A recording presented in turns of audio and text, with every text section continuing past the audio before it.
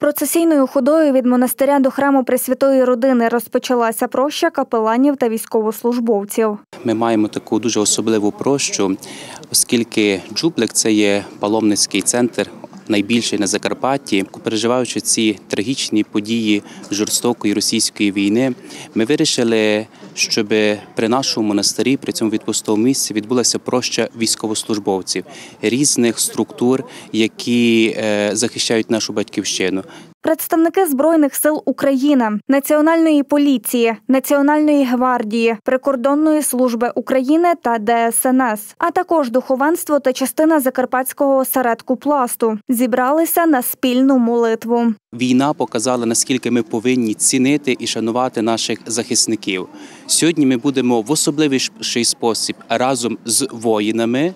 За наших воїнів молитися за всі силові структури України, особливіший спосіб тих, які зараз є на передовій і захищають мир і безпеку нашої батьківщини. Ми, як церква, і як зазначив глава Української греко-католицької церкви, блаженніший Святослав, церква вже думає, як лікувати рани, які завдасть війна. Це в першу чергу стосується самих військовослужбовців, які повернуться з перемогою, стосується їхніх сімей, їхніх родин. Тому даний захід це перший захід, але не останній.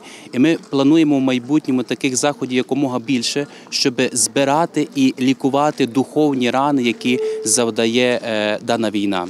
Після божественної літургії священники відслужили панахиду за загиблими захисниками нашої батьківщини. Богослужіння проходили у музичному супроводі Мукачівського військового оркестру 128-ї окремої гірсько-штурмової закарпатської бригади збройних сил України. Поліція завжди на посиленому варіанті служби завжди готові до виконання покладених завдань, які е, на нас е, покладаються як морально, так і духовно. Всі бійці. Е, які долучились до заходу і які перебувають зараз у нас безпосередньо на фронті.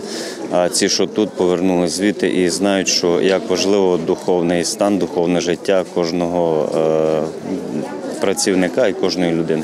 На жаль, е, серед наших підрозділів теж були втрати, тому молились за всіх. Наша рота займається охороною громадського порядку,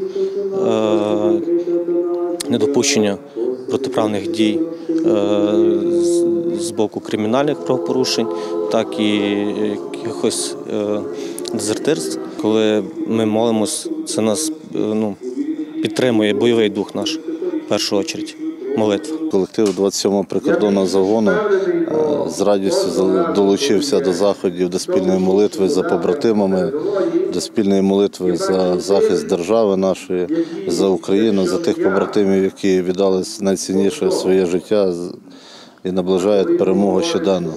Е, прикордонники 27-го загону безпосередньо в даний час приймають участь в бойових діях в Донецькій та Луганській областях. Лише з вірою та з Богом в серці можна перенести всі тяготи, всі негаразди, всі проблеми, які виникають в зоні бойових дій.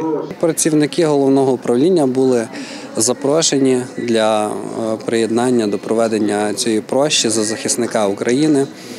Е, оскільки весь особовий склад, який тут знаходиться, нещодавно е, брав участь у аварійно-рятувальних та відновлювальних роботах у місті Балаклія Харківської області.